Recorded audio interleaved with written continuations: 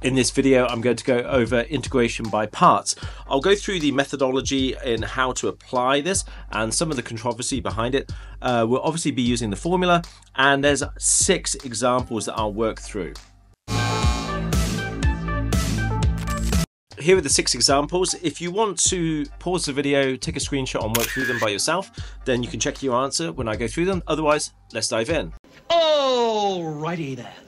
Okay, so we're going to select u in the following questions and v prime. Don't forget v prime is dv by dx.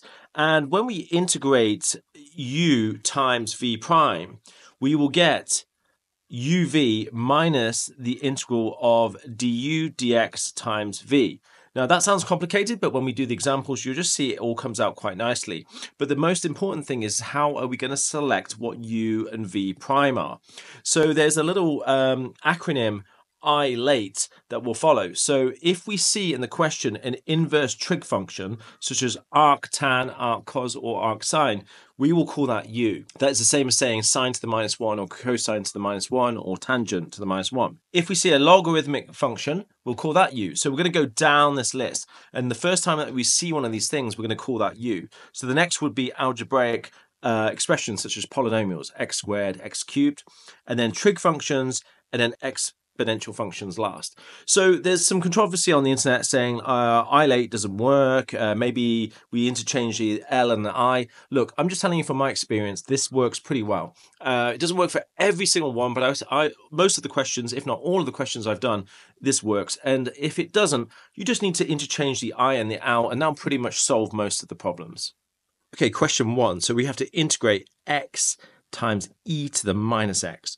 So we're going to work down this acronym here and we're going to call the first thing that we see u. So do we see an inverse trig function? No. Right? Do we see a logarithmic function? No. Do we see an algebraic expression like a polynomial? And the answer is yes. This x is just a, an expression like a simple polynomial. It's just x to the 1. So what we'll do is we will call that u then u prime is equal to 1.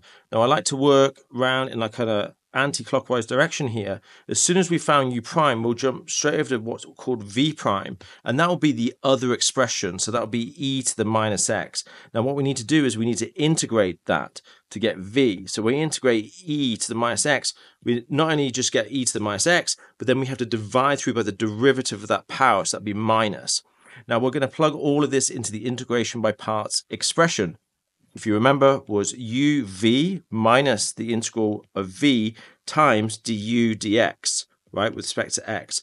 So let's just substitute everything in that we have. So we have u, that's x. Now we've got v, which is minus e to the minus x. So let's put the minus at the front, and that's e to the minus x. And then we have subtract, and we've got the integral of v, which is uh, the same thing again. So that's minus. So we should put minus e to the minus x. So that's actually really a plus times du by dx, which is just 1. So I'm not going to do that right now. So because it's just 1. So we're just going to integrate that. Well, we, when we integrate uh, this value, uh, it's going to say exactly the same. I'm going to divide through with a derivative. So that's going to be plus. So we're going to end up with negative x e to the minus x minus, said, this term is going to come out to be plus now, okay, which would be e to the minus x. And don't forget, we've got a plus c once we've done an integration, uh, like an indefinite integral. So we can just factor out uh, e to the minus x now. So in this, that's c, because it's an indefinite integral. And that is the end of question one. Okay, question two. So x times cosine x. Let's go down this ILATE again. So do we have an inverse trig function? No, we don't. Or a logarithmic function? No. Do we have an algebraic expression? Yes, we do. That's the same as the question one. That's x. u is equal to x. So u prime is equal to 1. Remember I said work in an anti-clockwise fashion around here. So what we'll do is now we're going to have v prime is the other value. So that's cosine x. So that's cosine x. Now we need to integrate cosine, right, to get v. So don't forget, if you differentiate sine, you get cosine. If the if you integrate cosine, you will get sine, right? So we need to make sure we get that correct. So therefore then, so that's sine x. Um, therefore, now we're going to plug all this into the integration by parts. So that's uv. It's just a case of plugging everything in in the correct order. So u is this x value, dv is sine x minus the integral of v, which is the sine x, and du is just 1, right? So it's just times 1, and then dx. So now what we've got to do is we just got to tidy that all up. Um, if you differentiate sine, you get cosine, but if you integrate, you get cos. If you integrate sine x, you get negative cosine x. So that, that's what this term will be. So we're going to get x times sine x minus, now the integral of this will become minus cosine x, right? And don't forget that little plus c, right? You could lose a mark if you forget that. So our final result then is going to be x times sine x plus cosine x plus c. And that is the end of question two.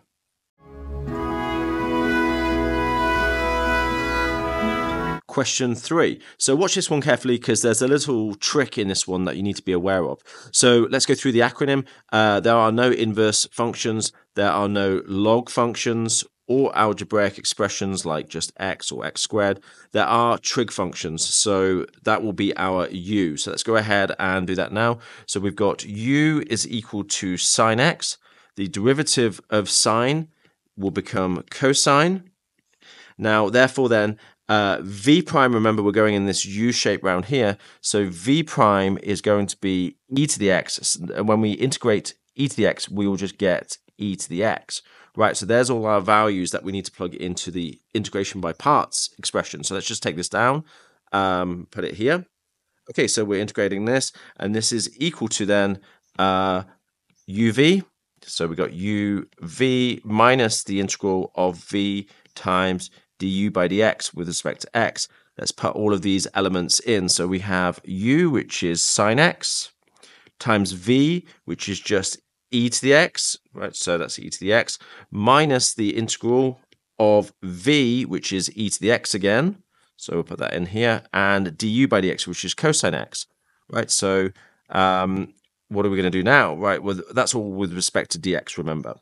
Now, uh, we have to integrate uh, using um, another integration by parts. So this is like a repetition. So this is what I was talking about at the beginning. So there's a little trick here. So we've got to do this all over again. Uh, we go through the ILATE okay, acronym.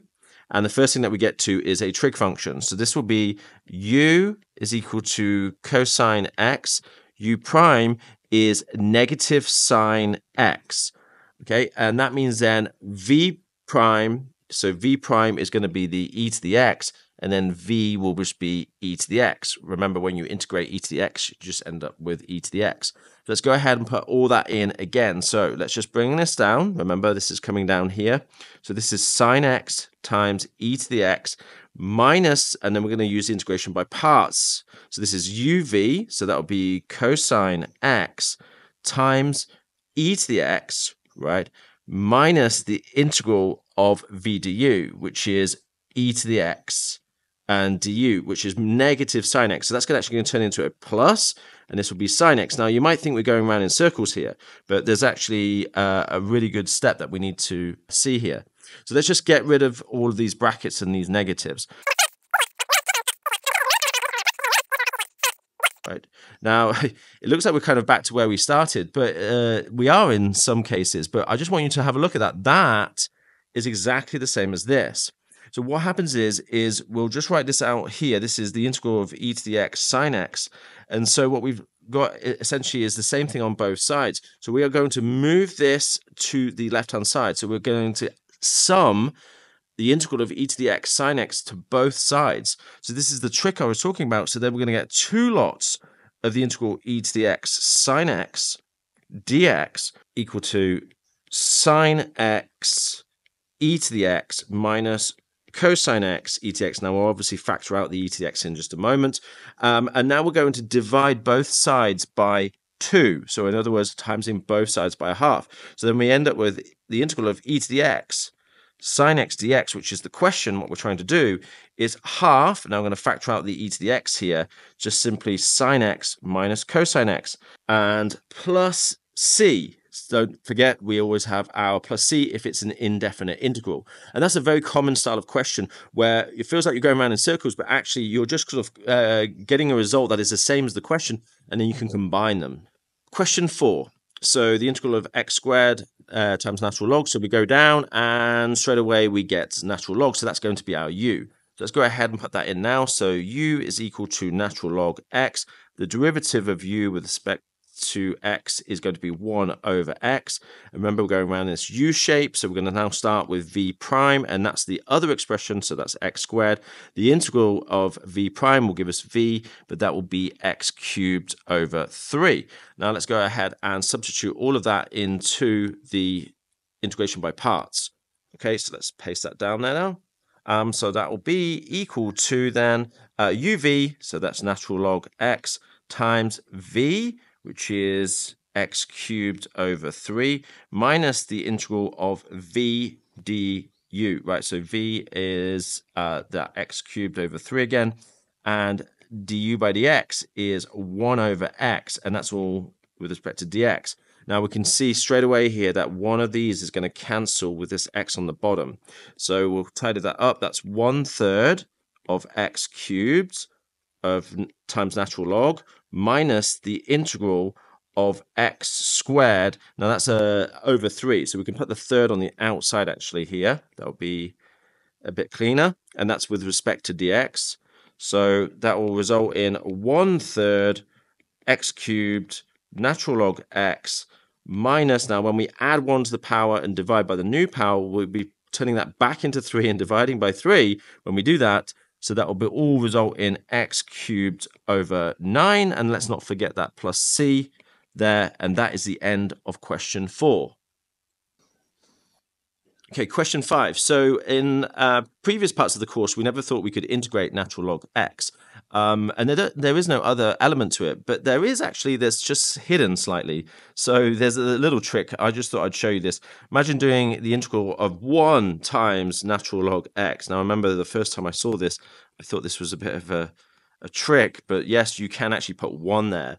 So therefore, when you do that, then when you work down ILATE here in that order, there are no inverse functions. There is a log function, so that will be our u value. So that would be natural log x. And the derivative of that we just saw in the previous question is 1 over x. That means then that v prime, because remember that's always the other expression, is going to be simply 1. And when you integrate 1, you're going to end up with x. So you can actually integrate natural log straight in this way. So that will be equal to u with respect to x, and we just plug everything in. So we'll get natural log x times v, which is just x, right? um, minus the integral of v, which is x times the u, and that's 1 over x with respect to x. That's very convenient. They cancel, and therefore then we'll just be integrating 1 with respect to x, and that will just result in x. So therefore then we've got natural log x times x minus x, and you can factor out an x if you wish, um, but that is also plus c because it's an indefinite integral. And that is the end of question 5. Okay, question six. So this involves an inverse trig function. So working down the acronym ILATE, that will be our very first expression there. So um, that will be u, right? So u is equal to arctan x. Now, if you haven't seen my video on differentiating these, click the tab above and you it will take you to it. Uh, this will become 1 over 1 plus x squared. Now, working around in this U shape that we've been doing on all of the questions, this means that V prime will be the other expression. So you might be a bit confused because it looks like a quotient. So another way of writing that would be 1 over 1 plus x squared times arc tan x dx, right? So we just do what we did on all the other ones. If we've called this u, right, then this thing is v prime right? So v prime will be the 1 over 1 plus x squared, right? Now, um, if you just look on the left here, uh, if you are integrating this, well, that will result in arctan because we just differentiated it and got that value. So when you integrate, you're going to go back the other way, and that means that v will be arctan x. So there's a few things here you've got to be careful of. Right, so therefore then, when we're plugging it all in, we're going to get, let's write out uv minus the integral of v times du by dx. Let's put all of this on the right-hand side into this now. So we got u, which is arc tan x times v, which is also arctan x. So that's going to be squared. So what I'll do is I'll just put the 2 there for squaring it. And then we have minus the integral of v, which is arctan x du, right? Which is this over here. Now, if you remember from the previous question, this is looking very, very similar, where we might need to combine these things together. So what I'll do is I will move this over to the right here, and we will just bring down this, uh, the actual question, and then you can see it a little bit better. Okay, so let's put that in now. And okay, let's put that in now, there. And that makes it a little bit clearer because we can see that this expression here is exactly the same as this expression over here. What we're going to do is what we did on the previous question is we're going to sum this value to the right, but then we also have to sum it to the left. Therefore, we're going to get two lots of the integral of arc tan x over this 1 plus x squared with respect to dx is equal to arc tan squared of x, and now we're just simply dividing both sides by 2. So this will result in half arc tan squared x, and don't forget your plus c, because it's an indefinite integral, and that is the end of that question, 6. Okay, so here's a very quick explanation of where this uh, expression comes from for the integration by parts. Imagine differentiating in a product. You would get uh, du by dx times v plus u times dv by dx. Now integrate those two terms on the right, you'll get back to uv. But in doing so, you would have to do each one independently.